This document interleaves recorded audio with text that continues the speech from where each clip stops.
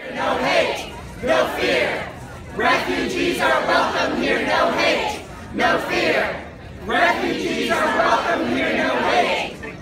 Hello, ako po si Paterno S. Makel. Nandito tayo ngayon sa Washington, D.C. Kalalapag lang natin dito at ito yung sumalubong sa atin dito sa Washington, D.C. Airport. Daan-daang mga nagpo-protesta laban sa sinasabing paghihigpit ni U.S. President Donald Trump sa mga refugees dito sa Amerika. Can you tell us more about this sign that you are holding? What, why are you here? Jesus was a refugee, and Jesus would welcome refugees from anywhere. Uh, so we're here to stand up to the ban on refugees, and we're here to welcome our neighbors.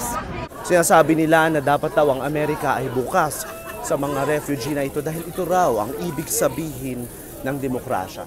Magbibigay pa kami sa inyo ng mga updates sa mga susunod na araw mula dito sa Amerika. Paterno sa Michael Rappler, Washington, D.C.